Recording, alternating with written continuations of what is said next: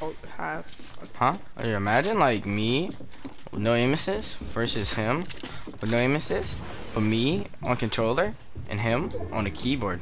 Like, Could you imagine that? No, because it's not making sense. Bro, okay, a person with no aim assist on. No, I know, it does make sense. I'm just fucking with your head. Oh, uh, fucking with my head, boy. I fuck with your head. I love you. I fuck with your feelings, kid. Don't be like Jennifer. There. Or else she did that to you, brother. Fuck her now. I'm gonna destroy it for you. I love you. Bro, suck my fucking fat ass pee, bro. My nigga came all the way over here to suck my fat